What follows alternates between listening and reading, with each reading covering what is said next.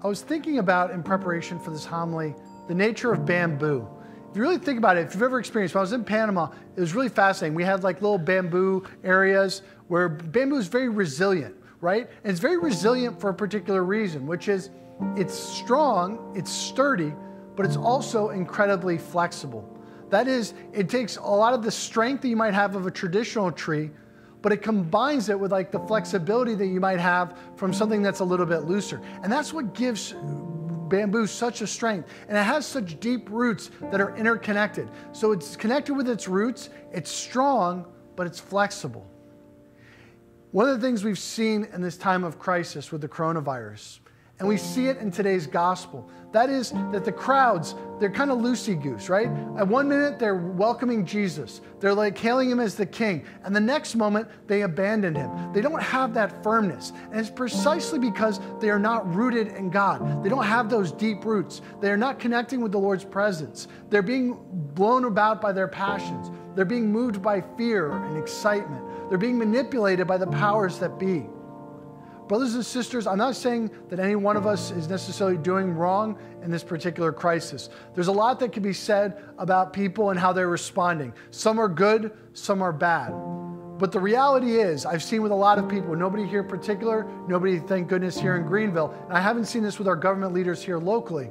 But there are many that in the midst of this crisis, their priorities have gotten way off. We see this a lot with Italy, where people are being denied the sacraments, that they are being denied that connection with God.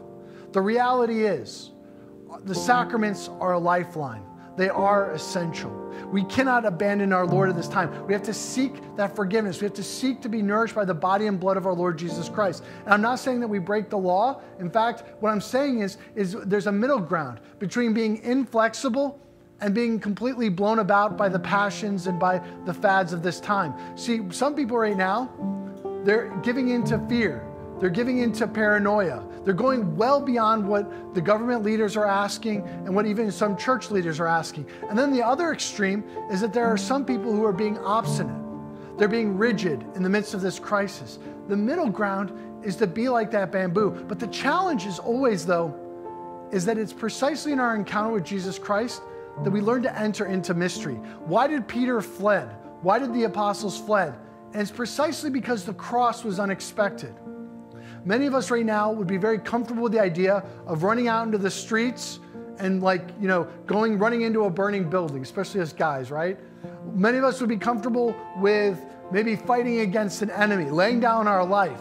But the complexities of this situation require a kind of ingenuity. And that was what surprised Peter. He was ready to be a hero, but he wasn't ready for the cross.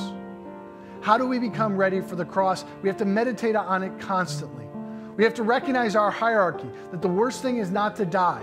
The worst thing is to lose our relationship with God. We have to meditate on God's word constantly. And if you're coming to this celebration, if you're following along online, or if you're here present, and you find yourself that maybe in this examination of conscience that maybe you've gotten a little bit off track, now is the time to be renewed.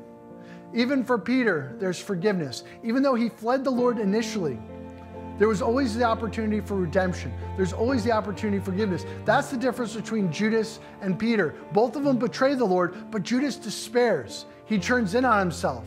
He doesn't use his creativity, he doesn't bounce back. Peter learns from his mistakes. So I would encourage all of us today learn from our mistakes. If the ways that we haven't adapted well, let us adapt. Let's renew ourselves and let's be that creative and genuitive that we're called to be of course, within the realms of the law, within the realms of what is being asked of us. Uh, here in Greenville in North Carolina, I think there are some places where the expectations are in fact unconscionable, but that's a little bit different of a conversation. The reality is, we have to always keep our eyes on the fact that Jesus Christ is the center of our life. He is our salvation. Listen to the scriptures. What does it profit a man to gain the whole world but to lose his soul? We have to recognize that Christ has to be centered to our lives. Now, again, it says to be an individual discernment. I'm not saying that everybody has to run out and be courageous. Within our own vocation, within our families, within our ministries, we have to find how we're called to serve. Each one of us has a part in the body of Christ, and all those parts are important. If it's just staying at home and taking care of your children, that is sufficient if that's what you are called to do. But be aware that you have to be ready for the possibility of following Christ as the Spirit prompts you. So today, stay with Christ, walk with Christ, be a disciple, put Christ first. Amen.